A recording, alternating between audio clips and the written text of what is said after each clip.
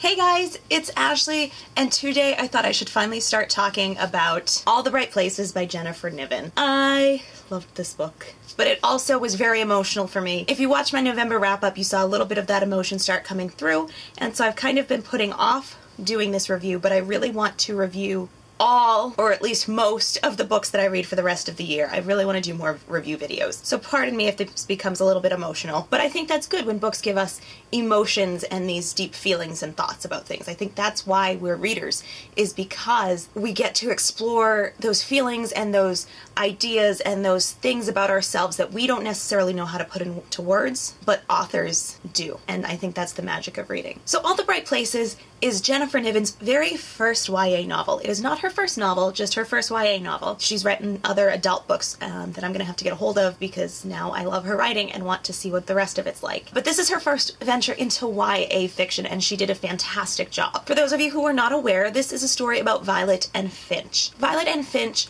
meet one day their senior year of high school on the ledge of a six story tall bell tower. They're both up there contemplating life and death and suicide, and they kind of rescue each other in this really beautiful way. Mm. This begins just an unlikely friendship relationship complex thing. Finch is labeled at school as the freak. He's just weird, he goes missing for long periods of time, he has anger management problems, he's just the freak. Violet, on the other hand, is part of the in crowd. She's a former cheerleader and she's one of the popular kids and always has been. However, since her sister's death, she's been dealing with a lot of deep emotional issues, a lot of survivor guilt, and just very deep depression that she doesn't see a way out of. And so, because of their interaction on that ledge, they now start weaving together their similarities and their differences as they work together on a school project. And so, this book becomes part coming of age, finding yourself story and part road trip story because their assignment is to go throughout the state and find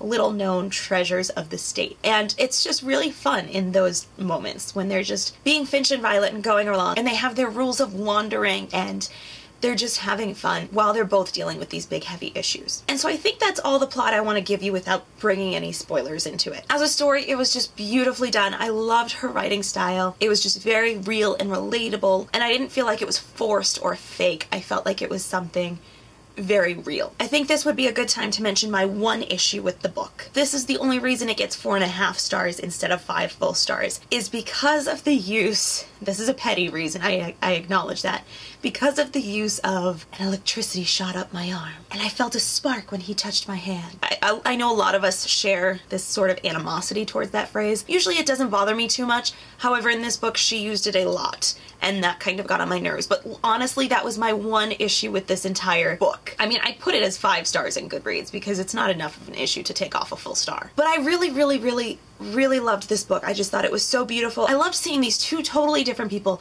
come together with this mutual pain and brokenness and trying to heal each other, but then in the end seeing them kind of fracture because of who they are as people and because of the support systems they have and because of the resources that they have available, I, I found it to be a very realistic way for the book to go. I mentioned in my wrap up video that I started this book one night because I needed something light and happy, and this was the wrong book for that, but it ended up being a very good book, and I'm so glad I read it. And then I read it the next morning before I had to go to work. All day long, I was wondering what was happening in the book. I needed to know what was going on. I needed to make sure that Finch was okay. Violet was starting to get her act together, but Finch had me really worried. He was showing some symptoms that was just very concerning to me, and I needed to get home and find out what happened, so I got home and I finished the book that night. I think in 24 hours I was done with the book. But I related to it a lot in a couple of different ways. First, with Violet. Violet had had this horrible thing happen in her life and she was having trouble moving past it. And I could relate to that because when I was about that same age,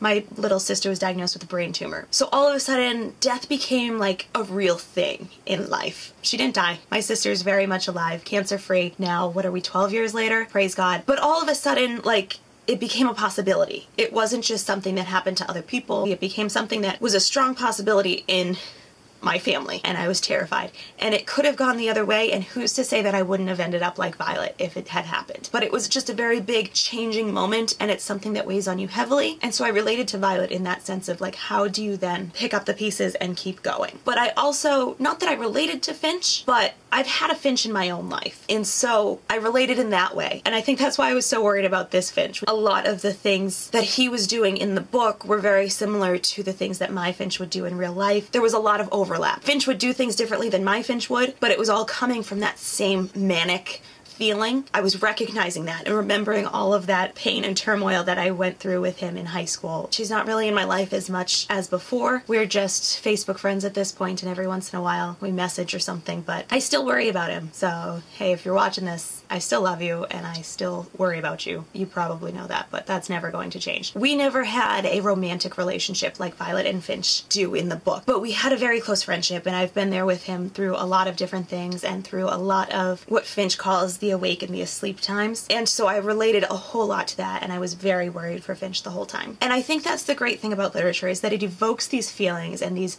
memories and these relatable moments in our lives and allows us to relate to characters on a page that don't actually exist in real life. In the book, Violet didn't get to see a whole lot of Finch's bad moments. We as the reader got to see it or got to see hints of it, but Violet never actually saw it until towards the end. But for me personally, I've been there for the bad moments for my Finch.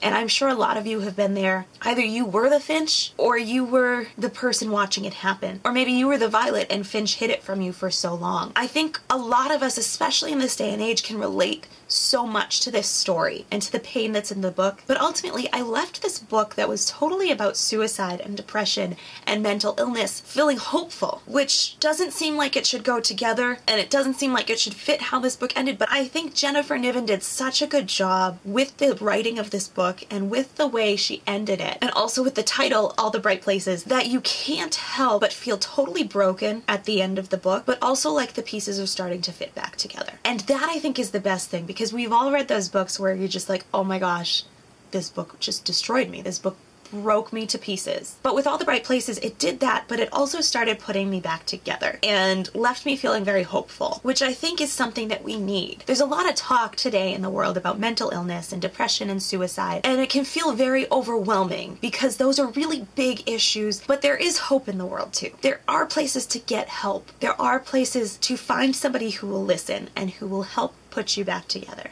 And that doesn't have to be like a romantic thing like Finch and Violet. It can be just as simple as somebody listening and taking time to say, I'm here for you. And I think that's what we need to be talking about more. We need to say, hey, I'm here for you. Please don't keep it to yourself. I think we need to take that opportunity and say, hey, you know what? You're going through some crap. I'm going to be there for you. I'm going to love you through this. We're going to find help. We're going to do what it takes to find all those bright places. And if you're one of the people who is struggling like Finch was, like Violet was in the beginning, please know that there are so many people out there who love you, so many people out there who want to help you. Please do not suffer with these things by yourself. Please don't lock yourself in the closet and sleep in there because the rest of the world is too big and open. Find somebody who's going to get in there with you and pull you out of it, whether it's a professional or a friend or somebody.